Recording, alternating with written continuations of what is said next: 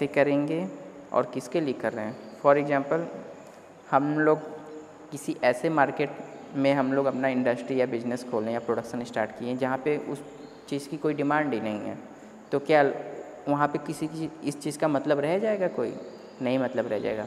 या वहाँ पे कोई प्रोडक्शन सर्विसेज़ ही नहीं है और हम प्रोडक्शन करना चाह रहे हैं, हो पाएगा? नहीं हो पाएगा। जैसे एग्ज़ाम्पल ले लीजिए, हम ऐसी जगह इंडस्ट्री खोलें और हमारे पास ट्रांसपोर्टेशन फैसिलिटी अवेलेबल नहीं है उतनी। जहाँ पे हम लोग सपोज़ कर लीजिए बहुत लग्जरीज प्रोडक्ट्स बना रहे हैं, ठीक है? और कहाँ पे बना रहे हैं? किसी रूरल एरियाज़ में। तो ज़ाहिर सी बात है रूरल एरियाज़ में लोग जल्दी लग्जरीज प्रोडक्ट्स नहीं खरीदते हैं। तो वहाँ पे वो सेटअप करना क्या है? गलत डिसीज़न है। क्योंकि सबसे पहले हमने ये स्टडी नहीं किया।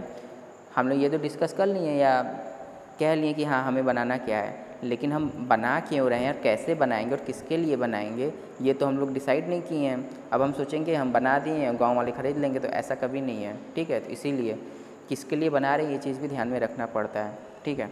और हाउ टू प्रोड्यूस तो यहाँ पे ये चीज़ भी ध्यान रखिए कि जो भी हम बना रहे हैं गुड्स और सर्विसेज़ उसको प्रोडक्शन कैसे करें? फॉर एग्जांपल जिस रूरल एरियाज़ में या जिस एरिया में हम लोग अपना इंडस्ट्री बैठाए हैं, वहाँ पे इलेक्ट्रिसिटी सही से नहीं आती है, या वहाँ पर ट्रांसपोर्ट ट्रांसपोर्टेशन फैसिलिटी अवेलेबल ही नहीं है तो क्या हमारी प्रोडक्शन एक्टिविटी अच्छे से हो पाएगी? नहीं हो पाएगी। और बाई चांस अगर हो भी जाती है तो हम उसको एक जगह से दूसरी जगह ट्रांसपोर्ट करने या ट्रांसफ़र करने में बहुत ही ज़्यादा टाइम लग जाएगा।